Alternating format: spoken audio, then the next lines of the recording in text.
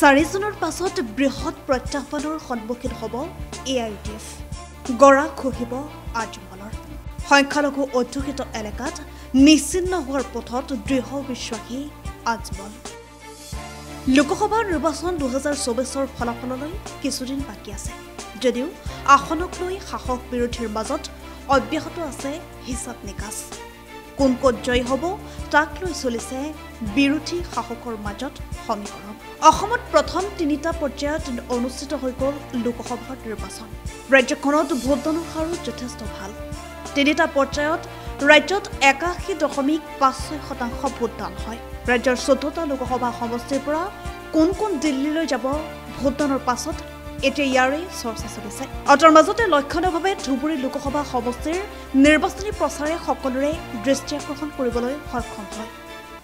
ধুবুৰীত কংগ্ৰেছৰ লকিবুল হুছেইনে এ আই ডি এফৰ মুৰব্বী তথা বৰ্তমানৰ সাংসদ বদৰুদ্দিন আজমলৰ ভেটি কঁপাই তুলিবলৈ সক্ষম হয়।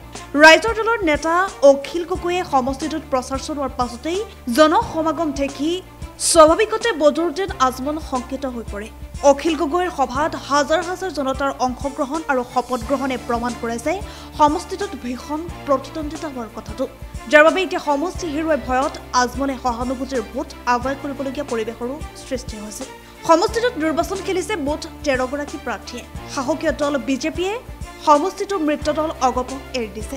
যদিও পূৰ্বৰে পৰাই সমষ্টিটো জয়ৰ তালিকাত ৰখা নাই। অৱশ্যে অগপই আশা এৰি দিয়া নাই। অগবৰ হৈ জাবেদ ইছলামে নিৰ্বাচন খেলিলে সমষ্টিটোত মূল যুঁজখন কেৱল কংগ্ৰেছৰ ৰকিবুল হাছান আৰু এ আই ডি এফৰ বদৰুদ্দিন আজমলৰ মাজত হৈছিল। বিশেষকৈ এইকাৰণেই সকলোৰে দৃষ্টিবদ্ধ আছিল ধুবুৰী লোকসভা সমষ্টিৰ ওপৰত কিয়নো প্ৰথম অৱস্থাৰ পৰাই যিহেতু ধুবুৰী নাছিল বিজেপিৰ তালিকাত। ৰাজ্যৰ ৰাজনীতিতো চৰ্চা আছিল এনেধৰণৰ ধুবুৰীত আজমলৰ অপ্ৰতিৰোধ। আনকি আজমলৰো আছিল দৃঢ় বিশ্বাস। কিন্তু তাৰ মাজতে আজমলৰ প্ৰত্যাহ্বান আহিল। প্ৰত্যাহ্বান হিচাপে আহিল এইবাৰ ৰকিবুল হৈছে দুই চালানীৰ যুঁজত আগবাঢ়িল ৰকিবুল।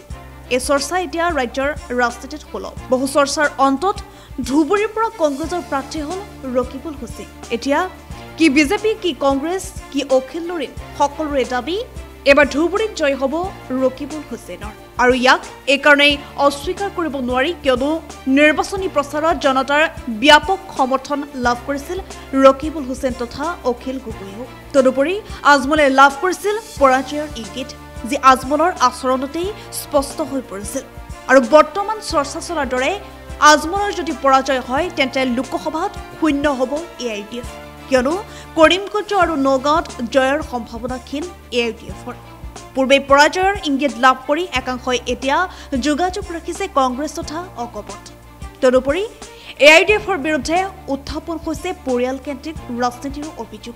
তেনে ক্ষেত্ৰত পৰিয়ালকেন্দ্ৰিক ৰাজনীতিত অসন্তুষ্টই এতিয়া এৰিব আজমলৰ সংগ তদুপৰি এইবাৰ লোকসভা নিৰ্বাচনত জনতাই মেৰুকৰ্ণৰ ৰাজনীতিক অস্বীকাৰ কৰাৰ এক ছবি প্ৰায় স্পষ্ট তেনে ক্ষেত্ৰতেই সততে সংখ্যালঘু অধ্যুষিত এলেকাত অধিক জনসমৰ্থন লাভ কৰা এ আই ডি এফৰ জনপ্ৰিয়তা কমিছে সেয়া প্ৰায় নিশ্চিত হৈ পৰিছে। আৰু এই সকলোবোৰৰ মাজতেই শেহতীয়াকৈ বিজেপি নেতা মমিনুল আৱালৰ বিস্ফোৰক অভিযোগে তোলপাৰ লগাইছে ৰাজ্যৰ ৰাজনীতি। আৰু এই অভিযোগ কেৱল দুই গগৈৰ বিৰুদ্ধে। অসমীয়া সমাজ সভ্যতাৰ বিৰুদ্ধে থকা এখন সমাজৰ নেতৃত্ব লোৱাৰ অভিযোগ তুলি অখিল লৰিণে অসমৰ ভোটাৰক ধৰ্মীয় মেৰুকৰণ অনাৰ অভিযোগ উত্থাপন কৰিছে মমিনুল আৱালে।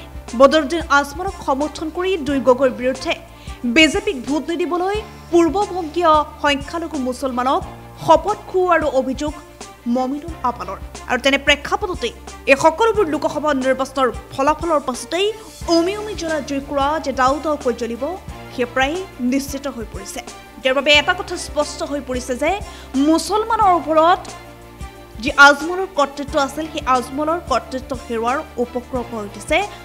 আৰু তাৰ বিপৰীতে সংখ্যালঘু ৰাইজৰ মাজত নতুন নেতা হোৱাৰ পথত আগবাঢ়িছে অখিল লৰি।